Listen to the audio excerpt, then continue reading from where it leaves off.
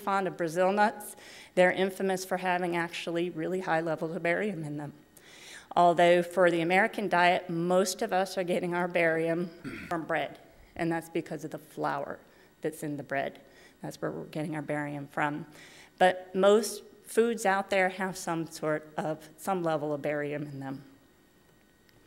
The adverse health effects of barium. This one's a nice one because there's what's known as a classic triad that includes gastrointestinal disturbance, so vomiting, diarrhea, hypokalemia, which is a low uh, level of potassium in your body, and motor weakness, which is muscle weakness. Those are the three basic things that you see when you're acutely poisoned with barium. And this has come from many studies where um, accidentally rodenticide, that barium that's used to kill rats in other parts of the world, has been used as flour to make communal meals. And entire groups of people have been poisoned like that. Um, other suicide attempts, people have taken strange things that have high levels of barium in them and um, tried to commit suicide. And so that's where a lot of those studies come from, and a lot of the information for barium toxicity comes from. On the chronic side of things, um, if it's not just a one time meal type of event, um, there's a possibility that barium could be linked to adverse renal function and possibly hypertension. The question marks are there because nobody's quite certain, and the studies aren't real solid with answers.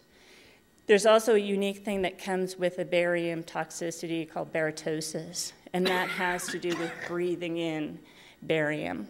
So if you're a miner or if you're working in one of these industries where barium might be melted and you might accidentally be taking in fumes, that type of thing.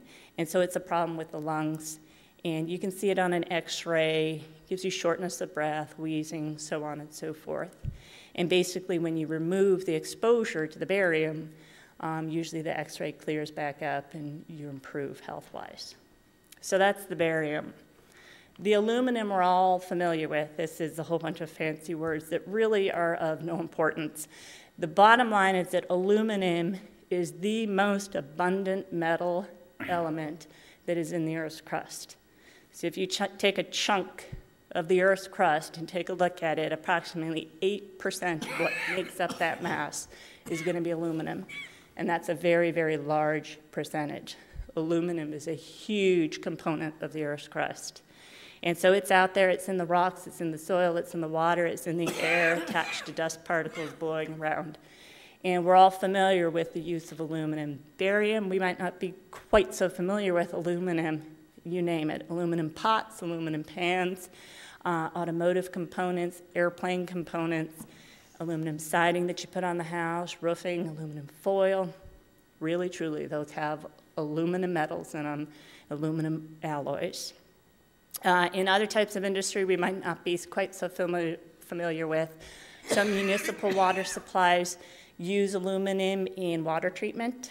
They can use a compound of aluminum that precipitates solids out of the water, pulls the solids out of the water, but the aluminum is left behind in the water that comes through the tap. Uh, it can also be used as abrasives, it can u- be used in furnace linings. Um, again, your explosives and your fireworks. In the case of aluminum, it's not giving color to the fireworks, it's giving that big bang, that bright light. If you're familiar with sparklers, that's the effects of aluminum usually. As aluminum is burning, you get that bright white silver color that comes off.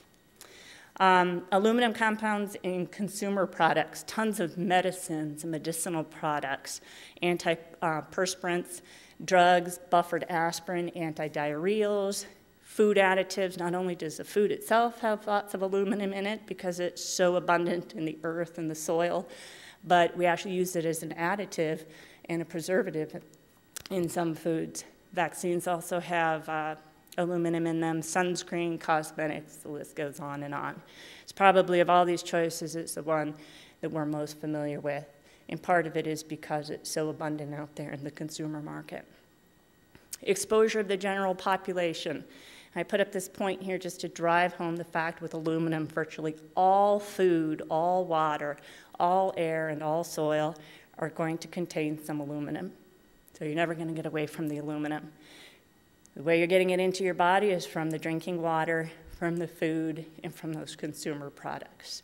Possibly there may be a little bit of inhalation if you're living in a place where there might be lots of dust blowing in the air because aluminum will presumably be attached to some of those dust particles. As far as the health effects, um, this is really general when we talk about the health effects of aluminum. Um, if you get too much aluminum, it seems to affect the nervous system. So you have neurologic impairment. And this is really fuzzy here. Um, for some people, it seems to affect their motor function, so their movement. For others, it's the sensory functions, the hearing, the touch, that type of thing. And others, it's the cognitive process, thinking. There are some studies that suggest suggest that it might be linked to Alzheimer's disease, but it's not definitive at all. But that kind of drives home the, the, idea that it's mostly neurologic problems that you run into if you've got too much aluminum in you. Um, you can have respiratory impairment, of course, if you're breathing in too much dust or if you're working in one of those industries or if you're mining um, and you're inhaling too much aluminum. And it'll lead to decreased lung function and fibrosis and types of things you would imagine if you're breathing something that's not good for your lungs. I will point out that some people with impaired renal function are more likely to have higher levels of aluminum in their bodies. The reason being is because most of the aluminum that's taken into your body is excreted through the urine. So if you have kidneys that aren't working well, that excretion process isn't going to work quite so well, and you're more apt to hold on to more of that aluminum than a person who has good working kidneys. Strontium gets a little bit more difficult here because we're going to step out of the high school chemistry and now possibly into college chemistry. Because when we look at strontium here, it is one of the squares on the periodic table, but it becomes a little bit more confusing because now we have to talk about isotopes. The request that was made was to discuss strontium 90, and that's what's highlighted in yellow here. Okay, but what I want to point out is just like if we're talking about animals, we all understand basically what a dog is. We all understand that there's different breeds of dogs. So you have Chihuahuas, which are very different from a German Shepherd. But a basic three year old can still tell you that they're both dogs. That's the idea behind isotopes. I'm not going to explain what they are, but they're different versions of that strontium element. So it gets a little bit confusing because now we're not just discussing those four elements, but now we have to discuss strontium in terms of isotopes. And I'll warn you that we're going to do the same thing with uranium. So, as far as strontium is concerned, it is out there in nature. In nature, it exists in non radioactive forms, non radioactive isotopes. The request that was made was looking specifically at strontium 90, and it is radioactive.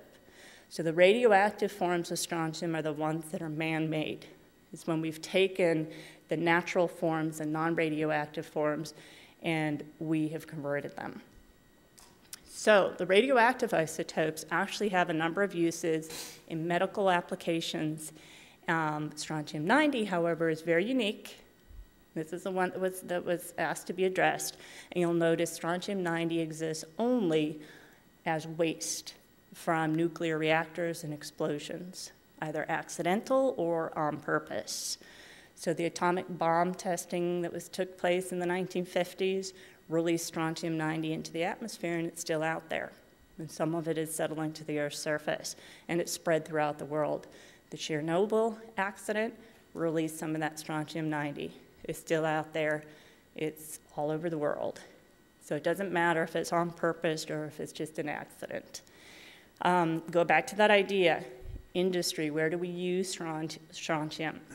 go back to the idea that there's the non radioactive isotopes and the radioactive forms.